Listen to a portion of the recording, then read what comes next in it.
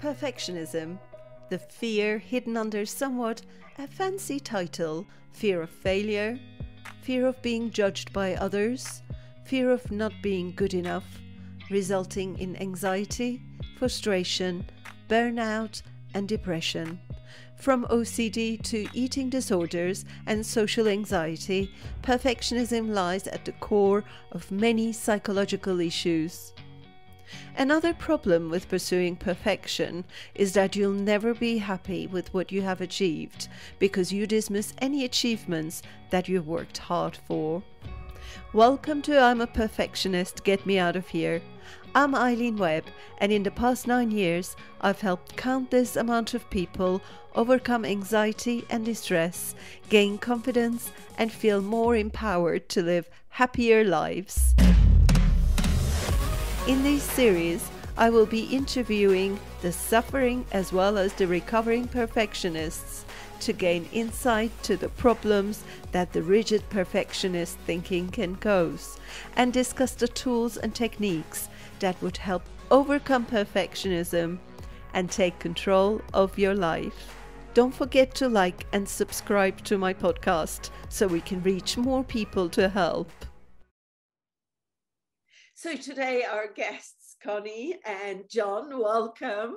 Thank you so much for coming, uh, Connie and John. Uh, so we will be talking about perfectionism today.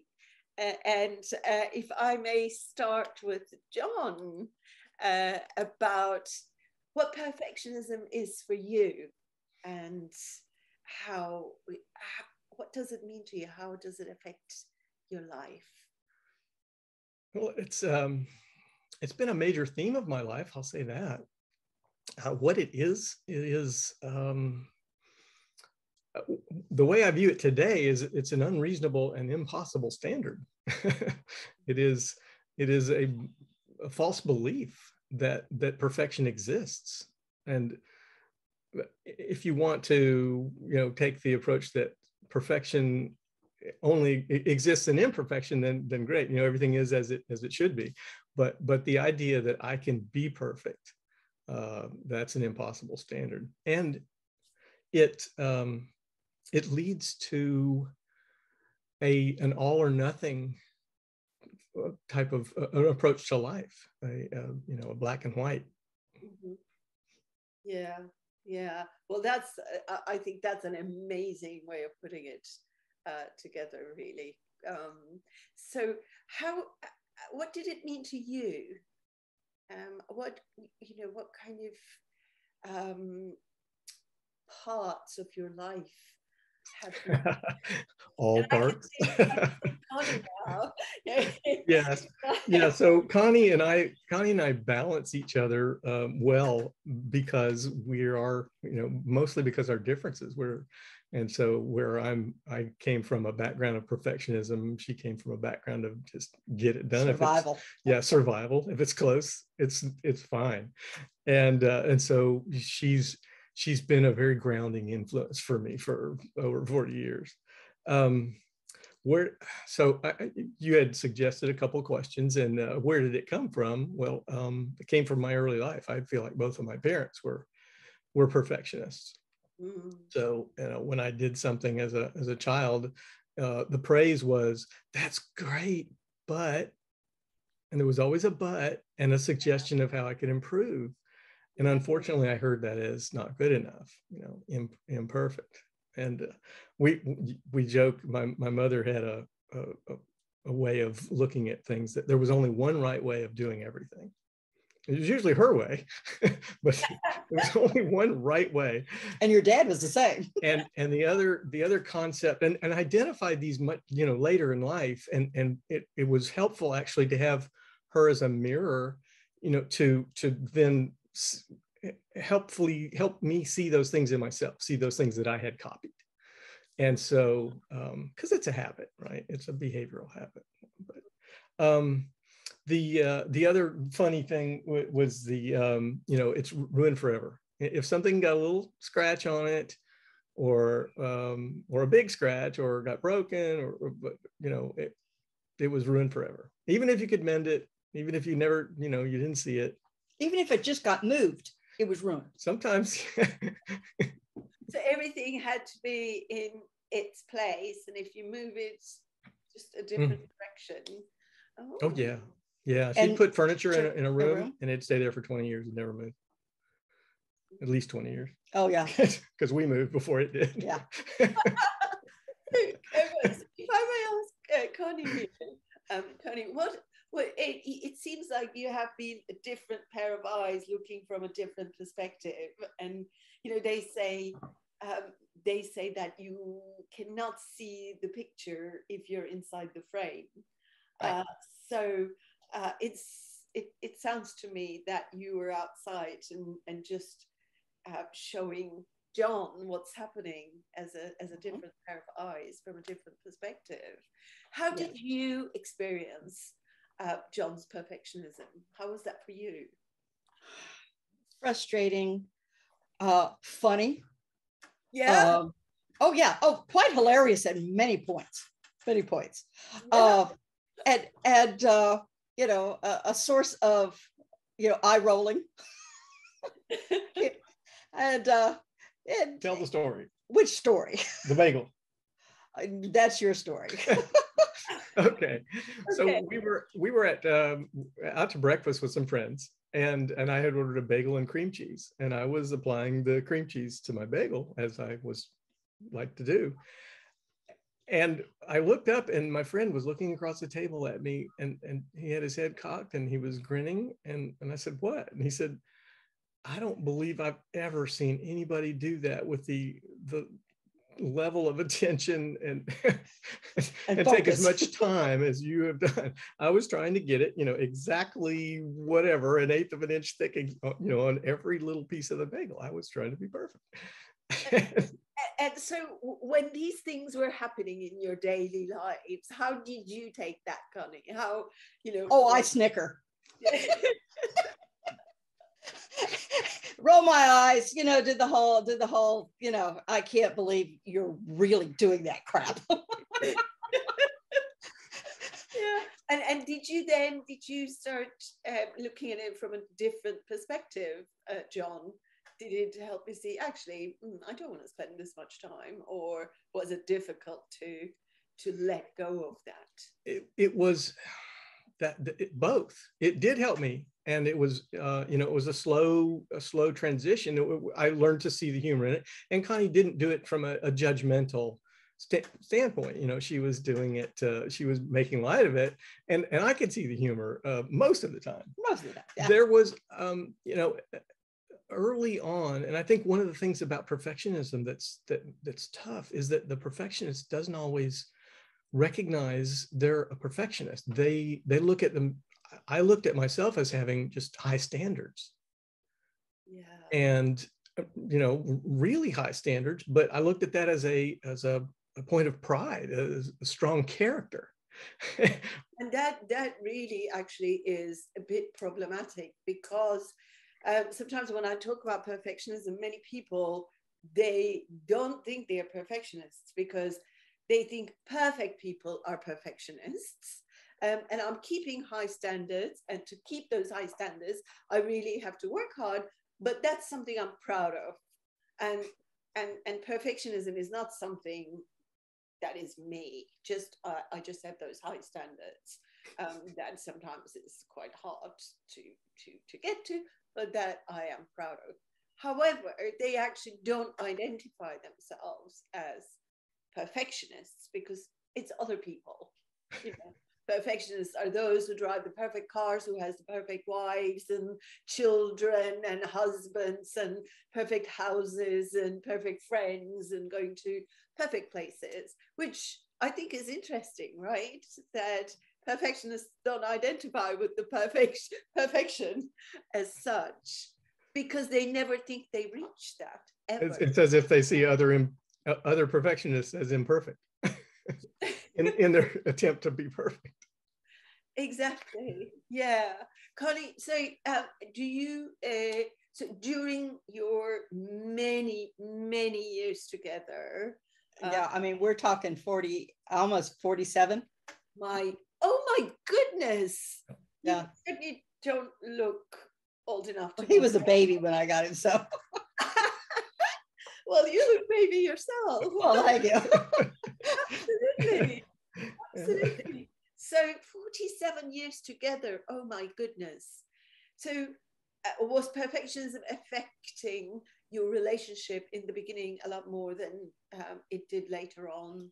And now, perhaps, is it still, you called yourself recovering perfectionist, John. Yeah, I did. I think it's well, I think it's lessened, you know, in our early years, you know, you know how the whole trying to impress each other and you know doing the the whole uh bendy thing. Uh, but then after a while, yeah, you get to the point of going, whoa, time out on this. You know, we're not going to do that anymore. And I think that started happening when we had kids because somebody wanted a perfect, perfect kid. And I've never seen a perfect kid. Have you? you know, as they're throwing up all over you, or you know, they're dragging their dirty diaper around the room, you know, things like that. Those things happen, and um, yeah. that's that was probably the Big trigger. Yeah, big trigger. big trigger Yeah. to to come yeah because I, I got Yeah. i got fairly uh, free uh, and thinking and independent uh, and then we moved we moved from we, we were we met in atlanta we moved back to florida to and i joined the family business and we moved on to the property next door to my parents. So now we're yeah, not, not the wisest choice uh, for for for us. So um yeah when we became parents it was like we you know we had them watching us and, and i felt like i had to be the perfect parent wanted to be the perfect parent didn't want to mess up my kids. Yeah. and didn't know how to be didn't didn't have a role model for that so yeah it was and and that's that's one of the prices of perfectionism is you you feel like you you never quite measure up and so there's this sense of dissatisfaction of, of falling short Mm. all the time. Uh, I expect that that's one of the the things that I, I still see recurring is that I expect to disappoint people. It's it's like I have this. I know sooner or later I'm going to disappoint them because I'm not perfect, and and that's a when I feel threatened uh, or unsafe, that's when the perfectionism gets triggered. Yeah, that's amazing. Um, thank you so much for for sharing that. That's really amazing. And how are you? How, how are you managing that now? Um, because you mentioned to be a recovering perfectionist, and how um, when when you notice the trigger, how are you managing now? And how is how is uh, being with Connie for so many years? How, how is how is that helping or not helping? we we, we still um, you know we're still different people we still have our different levels um, I, I think uh, you know we we it's a again it's a habit. I think i've lessened it a lot but i don't i don't i think it's a part of me that'll never completely go away. It's just like you said managing um, and recognizing recognizing it not letting it get um, get out of hand. You know that that all or nothing that that extreme the, not going to the extremes i think um, because that um, that that thing i've mentioned to my mother you know something's completely you know it's either perfect or it's completely ruined that that there's no in between. So not you know recognizing that and not going there and saying you know it's okay. It's, it's okay. There's a there's a principle there's something that came through one of the things we've done we've been doing personal development of some sort we, we met in a personal development program Mhm. and we've been doing it ever since Oh, in some way or, or shape and uh, the, the principle of kintsugi are you familiar with that japanese No. It's Well, a- I'll make a note of that. I, i'm not sure i can spell it properly for you k-i-n-s-u-g-i maybe Okay. um, but it's it's a when they break a piece of pottery uh, they will mend it with a lacquer that has gold dust in the lacquer so that where the all the little cracks and lines of where it's been mended together instead of just being a, a crack it's now a gold decoration and so it's this idea of valuing our scars valuing our you know the the little imperfections and and and and the, the repair and the growth yeah. and that, that's a I- got triggered on something today i'll confess. And uh, you know it's probably a setup for this this call. But you know re- reminding myself of that kintsugi principle was was really huge. Um, so uh, other things that have helped me in general have been the idea of um, the, the, different some distinctions uh, the distinction of of uncomfortable versus unsafe is a big one. Uh, i i think a lot of people probably share i had that confused. And so like difficult conversations or um, you know um, yeah just uh, uncomfortable situations socially would feel unsafe. So early in our marriage if if we were having an argument i was afraid it was over. You know if we were going to have a big conflict it was because it was all or nothing you remember that oh yeah oh yeah rather not but thanks what did you think about that Connie when you know uh, with with all or nothing thinking black and white um, oh it was frustrating beyond words because it's kind of like and, and there again this is an only child so he never had the joy of going up and smacking your brother just to hear him cry. Okay. Mm-hmm. And and and not ever being able to lose. So in his world, he had to not necessarily always win, but he always had to have that perfectionism and he couldn't relax into anything. And that was that was difficult to to try to work around. Yeah, and it sounds to me, John, that there was always like, I'll do my best, but there will always be a but. So mm-hmm. it sounds to me that he was always waiting for the but. Yes, um, right. always. Right. So um, that that sense of of impending or constant uh, disappointment is not only within the, the person I, I think of that has the perfectionist habit, but also the um, you know the expectation mm-hmm. of of disappointing others like i was saying well and there's an expectation too that other people are going to come up to your level and and and um that oh yes yeah yeah and see we had that with his parents because we caretake for his parents for the last for their last years mm-hmm. so we had them I, we had his mom for 10 years and so that was that was learning how to balance her need of controlling everything and my need of going, uh, no. okay. And how did that, how did it work? How did it go? Um, we had our moments. Yeah, we, we did. And, uh, but you know, she, she eventually capitulated.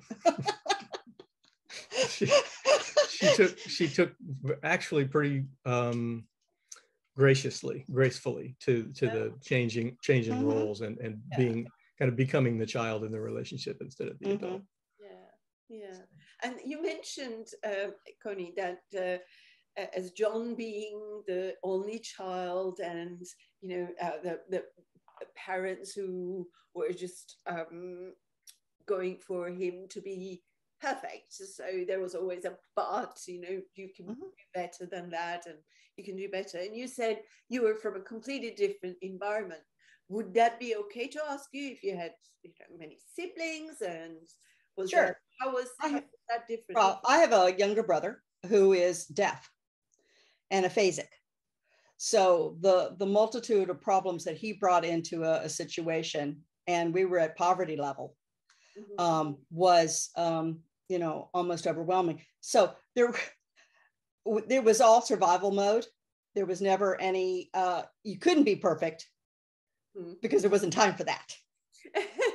yeah. Okay. Okay. There wasn't the time or the resources for that. Mm-hmm. So it was um, it was always just you know struggle to make it through the day and and hope that you got everything done.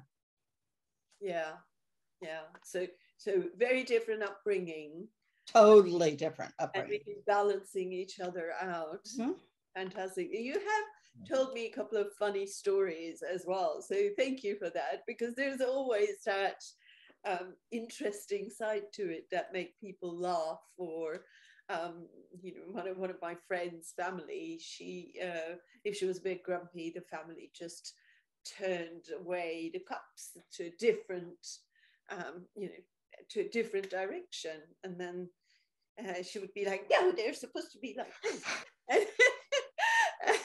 and, and, you know, same same with my mom. If uh, if we move anything in the house, she will know, and they'll be moved back. Yeah. And I'm talking about small ornaments, uh, not, Oh, are- furniture. yeah. I, mean, ornaments. Even if the uh, cushions are not put the right way, You'll know. Oh, our son put a a a, um, a business card on the refrigerator, uh, uh, which was full of magnets and all sorts of stuff.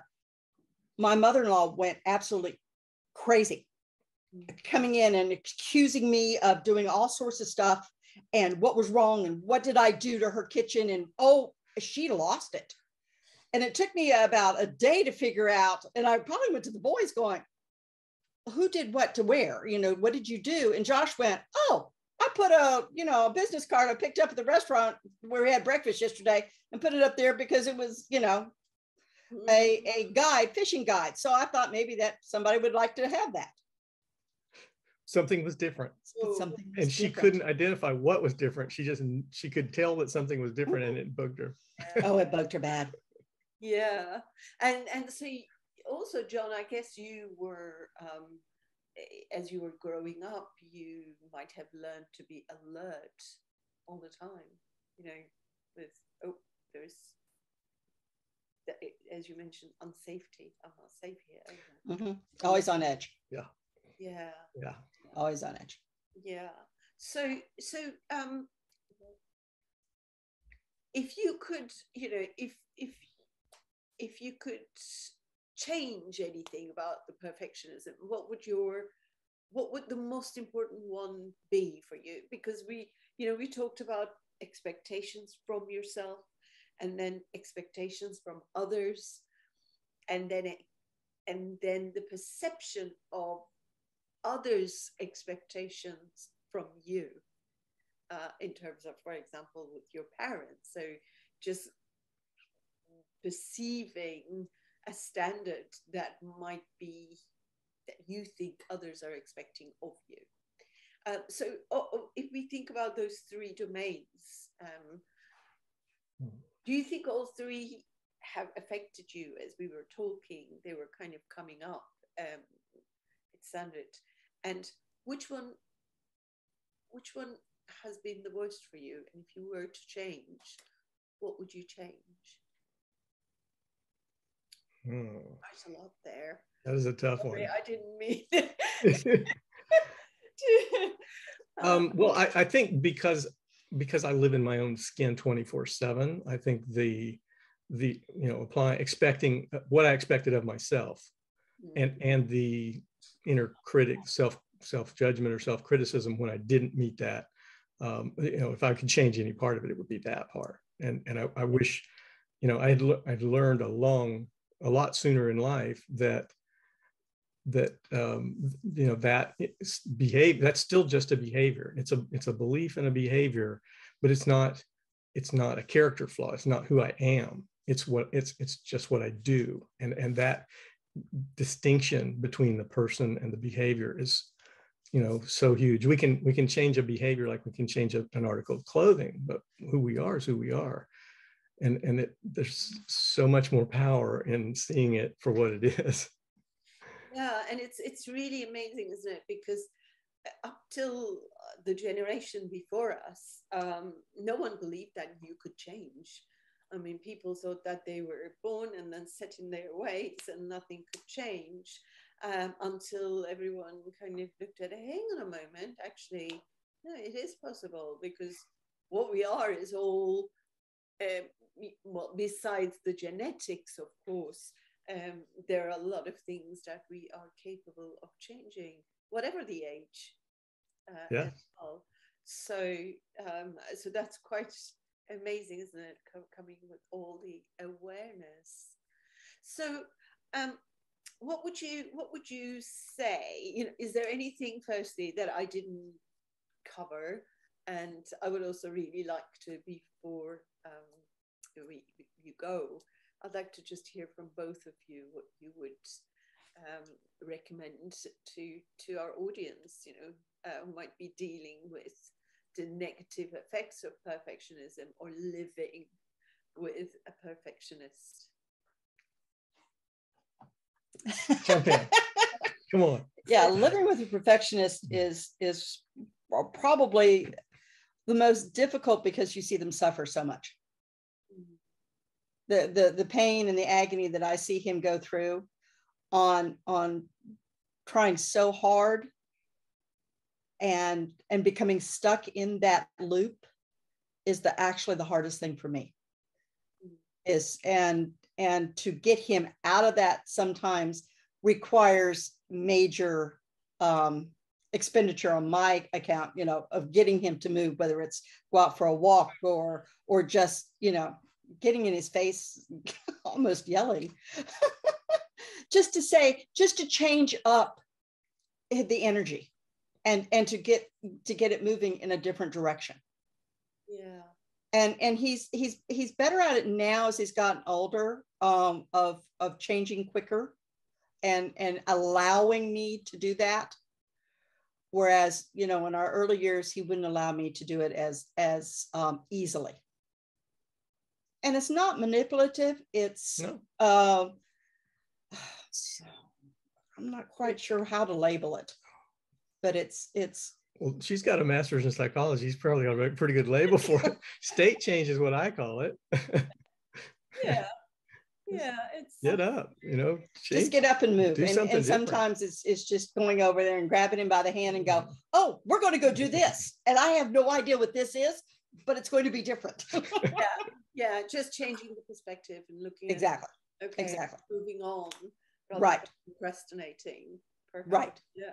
Moving the energy. That's that's really good. Has there been connie has there been any times for you where you um where, where you felt that that perfectionism um was a um pressure on you?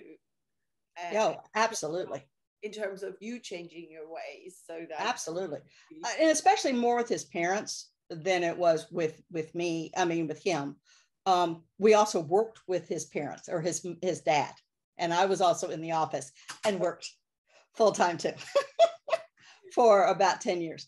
And uh, so then we caretaked for them in their in their later years. So yeah more with them because it, they were harder for me to change in that you know getting them off of whatever loop they were in uh, especially his dad his mom i could do but and and you know he he's gotten better with age john has but uh yeah his his dad was a toughie Mm. Well, okay, and this is one of those another one of those little funny things. Um, uh, me correcting Connie is is an example. Um, Connie has uh, one of the at the back yeah yeah yeah one of the phrases that she says um, it, it is uh, that instead of six to one, a half a dozen to the other, Connie says it six to one ha- half a one and six of dozen to the other.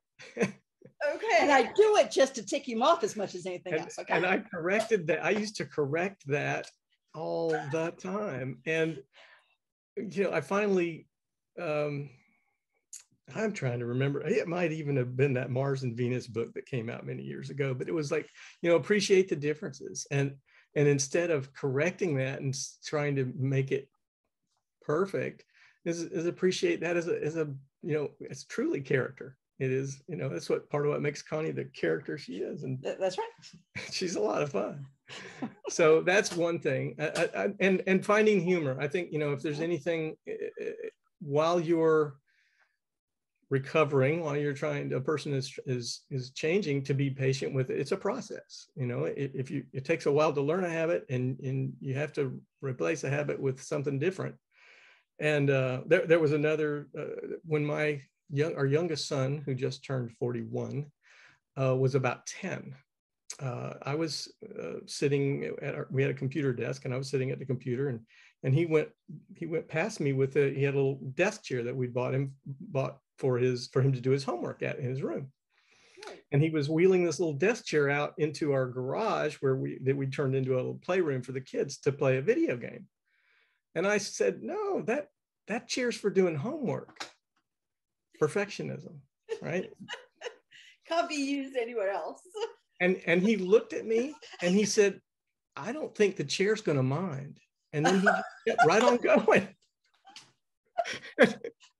Could have been any more perfect. Could have been any more perfect. 10 years old. I mean, I fell out of the chair laughing, first of all. Second of all, I knew he was going to be okay. Yeah. But I hadn't screwed up too bad. She'd had more effect on him than I had. I think Connie was like, yes, yes. Oh, I was. I was back there doing the happy dance. yeah. That was a moral victory. Oh, it was. That's absolutely amazing. How is And that kid still he? remembers it. He still remembers that that we we still joke with him about the chair.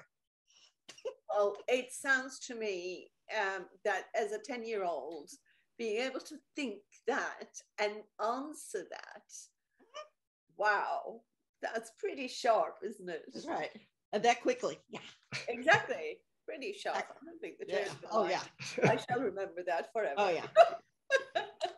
And he's still like that. He, he He's still is very much like that. Well, um, you two have been absolutely amazing, and Thank you. thank you. It's been fun. I'm so humbled. Thank you so much for sharing your story. Oh, It's absolutely. and If it uh, helps one person That's right. have less pain while they Recover. get over their lessen their perfectionism, it'll be absolutely worth it. exactly, exactly.